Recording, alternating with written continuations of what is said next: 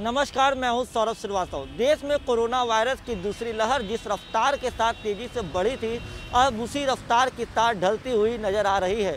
लगभग छाछठ दिनों के बाद कोरोना वायरस के मामले एक लाख से कम सामने आए हैं। पिछले 24 घंटे के अगर आंकड़ों की बात करें तो पिछले 24 घंटे में स्वास्थ्य मंत्रालय की तरफ़ से जो डाटा पेश किया गया है, उसके मुताबिक छियासी हज़ार चार सौ अंठानवे कोरोना के नए मरीज़ सामने आए हैं। इसके साथ ही हम आपको बता दें, मौत के आंकड़ों में भी अब गिरावट देखने को मिल रही है।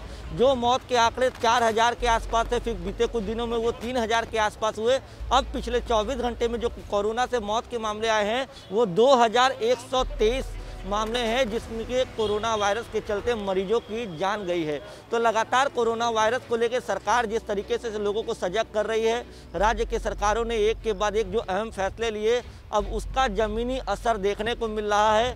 अनलॉक की प्रक्रिया जो है कई राज्यों में शुरू कर दी गई है। दिल्ली, महाराष्ट्र उत्तर प्रदेश, राजस्थान समेत कई ऐसे राज्य जहाँ कोरोना वायरस की दूसरी लहर जब पीक पर थी तो मरीजों की संख्या काफ़ी निकल के सामने आ रही थी। अस्पतालों में बेड की कमी थी।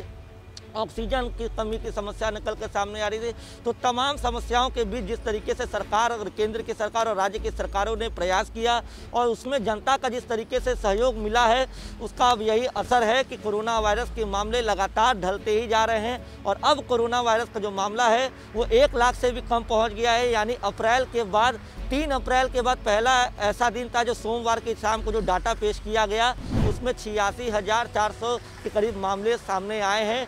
ये उम्मीद जताई जा रही है कि कोरोना वायरस के मामले दिन पर दिन इसी तरीके से कम होते रहेंगे। अगर दिल्ली की बात करें, दिल्ली, उत्तर प्रदेश समेत कई राज्यों में अब अनलॉक की प्रक्रिया शुरू हो गई है। हालाँकि सरकार ने अनलॉक के लिए भी एक सख्त गाइडलाइन जारी की है। कई राज्यों में वीकेंड कर्फ्यू, जो शनिवार और रविवार का कर्फ्यू है, उसको अभी लागू रखा गया है। कई जगहों पर नाइट कर्फ्यू चल रहा है। उत्तर प्रदेश में भी अगर बात करें तो उत्तर प्रदेश में भी नाइट कर्फ्यू की प्रक्रिया को चालू रखा गया है। हम आपको बता दें कि इससे पहले तीन अप्रैल को तिरानवे हज़ार दो सौ उनचास केस सामने आए थे।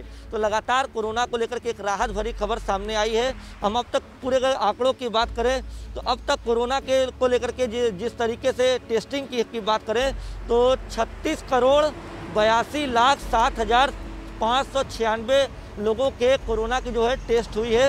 तो लगातार कोरोना को लेकर के एक राहत की खबर निकल के सामने आ रही है। सरकार अभी भी लोगों से अपील कर रही है कि कोरोना को लेकर के अनलॉक तो शुरू किया गया है।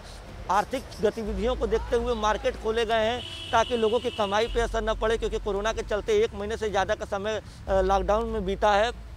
तो अभी भी सरकार की यही अपील है अगर घर से बाहर आप निकल रहे हैं ज़रूरी काम हो तभी निकलें और निकल भी रहे हैं तो कोरोना के प्रोटोकॉल्स, कोरोना के गाइडलाइन का सख्ती से पालन करें। साथ ही हम भी अपने चैनल के माध्यम से आप लोग सभी से ये अपील करते हैं कि आप लोग कोरोना में अगर घर से बाहर निकल रहे हैं तो तमाम तरीके की जो सावधानी है कोरोना से बचाव के, उसको बरतना बिल्कुल भी ना भूलें।